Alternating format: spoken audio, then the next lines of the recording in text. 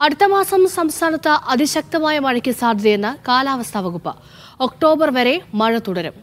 ലെനിന പ്രതിഭാസമാണ് മുൻവർഷങ്ങളെക്കാൾ കൂടുതൽ മഴ ലഭിക്കാൻ കാരണമെന്ന് കാലാവസ്ഥാ കേന്ദ്രം director Nitha K Gopal media വണിനോട് പറഞ്ഞു.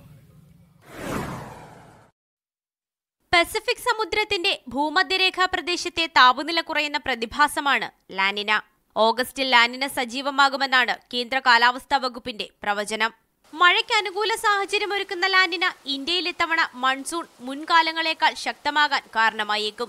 ഇതുമൂലം കേരളം ഉൾപ്പെടെയുള്ള തീരദേശ സംസ്ഥാനങ്ങളിൽ മഴ തിമിർത്ത് പെയ്യും. ഐ എം ഡിയുടെ മിഡ് സീസൺ അപ്രൈസൽ അല്ലെങ്കിൽ മൺസൂൺ ലോങ് റേഞ്ച് ഫോർകാസ്റ്റിൽ വന്നിരിക്കുന്നതും ഓഗസ്റ്റിൽ കേരളത്തിൽ സാധാരണ നിലയിലുള്ള മഴ അല്ലെങ്കിൽ അല്പം കൂടുതലാവാം.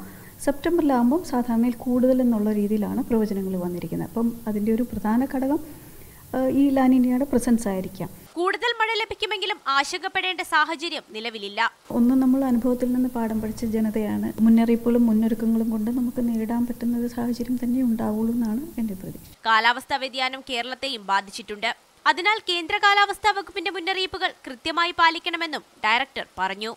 Media one Thiruvananthapuram.